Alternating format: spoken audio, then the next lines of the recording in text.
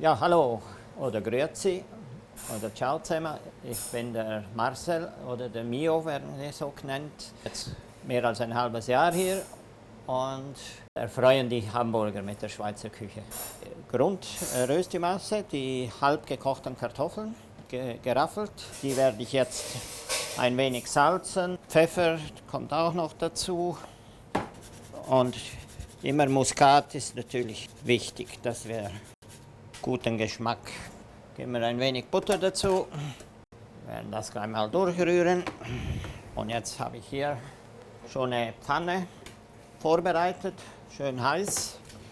Mittlerer Hitze werden die dann gebraten, die Kartoffeln von beiden Seiten, bis es goldbraun wird. Das dauert jede Seite circa vier Minuten auf mittlerer Hitze. Soße ist eine Rahmsoße. Zuerst die Zwiebeln kurz anbraten, glänzen dann gebe ich die Champignons dazu. Ganz wenig Salz. Wichtige beim Zürcher ist eine schöne Reduktion mit Weißwein. Es gibt den schönen säuerlichen Geschmack. So, noch vor dazu. So Pfeffermischung.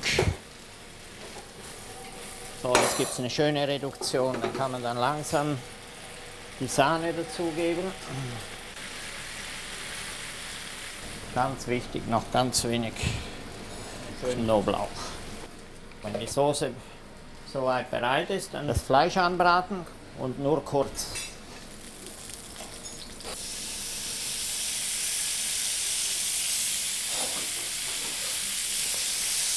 Das darf man nur kurz anbraten dass es schön zart bleibt.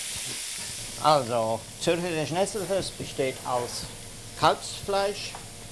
Wir nehmen immer die Oberschale schön zart, schön fein schneiden, Salz ran. Das wird dann ganz am Schluss gebraten und zur fertigen Soße beigegeben. Das da rein, Petersilie.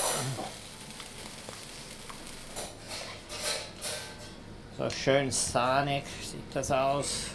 Noch die Original-Zürcher äh, geschnetzelte Variante ist mit Nieren, Kalbsnieren dazu. Wer das mag, wunderbar. Jetzt noch ein Rösti dazu. So. Und da haben wir Zürcher geschnetzeltes, so wie es in der Schweiz gegessen wird. Alle Gastgeber und Rezepte unter www.topfgucker-tv.de